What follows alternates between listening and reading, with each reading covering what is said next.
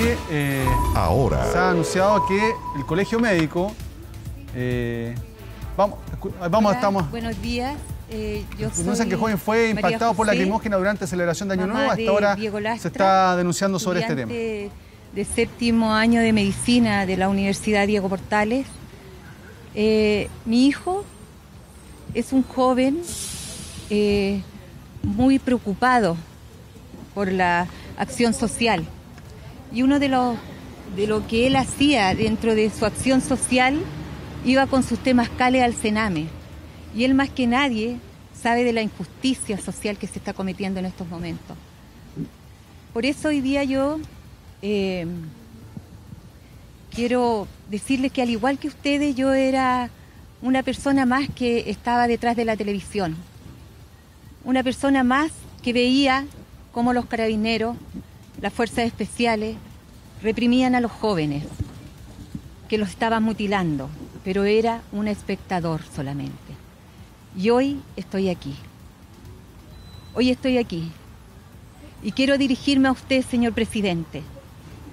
Quiero pedirle que por favor, basta, basta. Yo estoy aquí en estos momentos porque no quiero que haya más madres sufriendo por sus hijos mutilados. Señor presidente, cambie el sistema de los carabineros. Cambie la institución, renueve la institución. Por favor, se lo suplico, basta. Señor Piñera, escucha a los jóvenes, escucha al pueblo. No le pide grandes cosas, no pide cosas inalcanzables. Solo piden paz, solo piden justicia y solo piden libertad.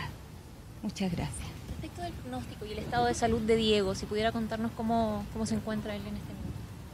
Eh, bien, como dijo el doctor, con ánimo.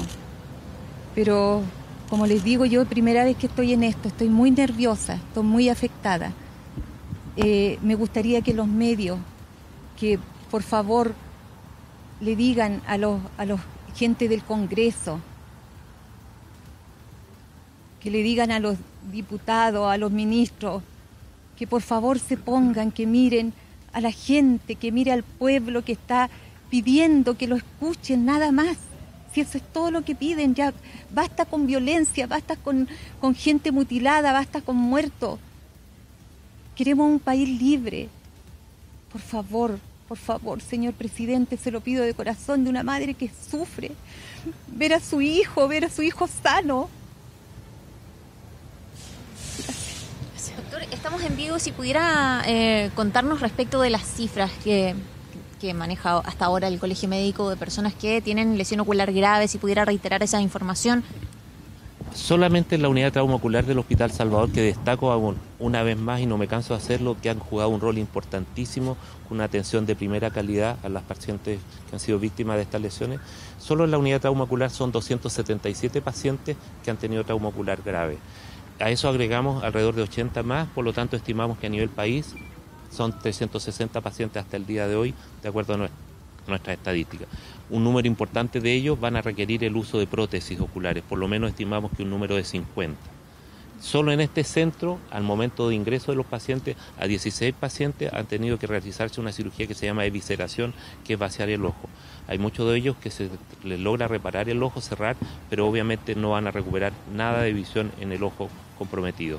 Y a nivel, entre las cifras nacionales, hay dos personas con compromiso bilateral que han quedado absolutamente ciegas. Y en ese sentido, el llamado que hacían eh, a las autoridades a revisar los protocolos respecto del uso de lacrimógenas, que son los artefactos que están causando este tipo de lesiones luego que se suspendiera el uso de balín.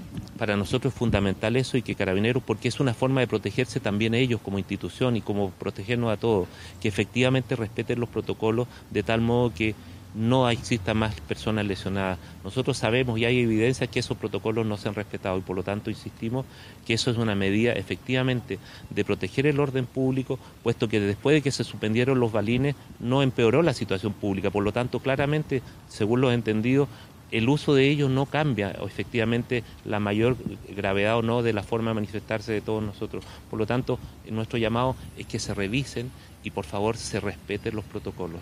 ¿Usted sabe si este caso está en antecedentes ya de, la policía, de la fiscalía? ¿Se va a investigar? Ayer vino la, Fiscalía Nacional y se abrió el, proceso para efectivamente que se haga la investigación de parte de Fiscalía. Pero obviamente la familia también, el INDH y la familia por su cuenta también tiene todo el derecho y así lo hará junto a la universidad de iniciar las acciones legales correspondientes de una querella para que efectivamente se investigue y se sancione a los responsables.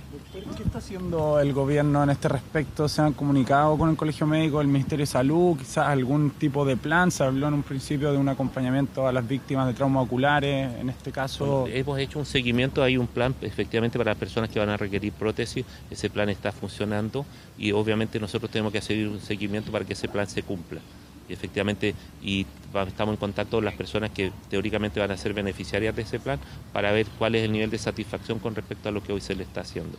Pero afortunadamente ese mismo plan está siendo ejecutado por la unidad de trauma ocular del Hospital Salvador, lo que nos da garantía que efectivamente va a funcionar bien.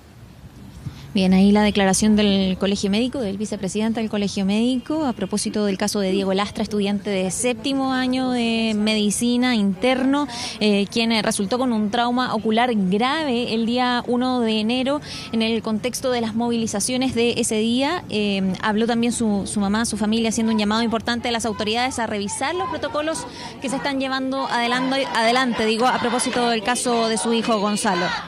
Andrea, además manifestó el vicepresidente del Colegio Médico que en la unidad trauma ocular del Hospital El Salvador han llegado 277 pacientes eh, y en el país son en total 360 personas que han tenido algún tipo de lesión. De esas 360, 50 van a necesitar prótesis. Una información, por supuesto, que estaremos ampliando acá en la mañana informativa. Andrea Pino, muchas gracias.